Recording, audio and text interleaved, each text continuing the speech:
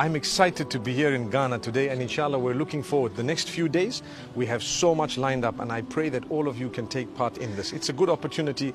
We uh, rejuvenate, reconnect. We have renewed hope in the mercy of Allah, and even in uh, the rest of uh, the life that we have. May Allah subhanahu wa ta'ala grant us goodness and ease.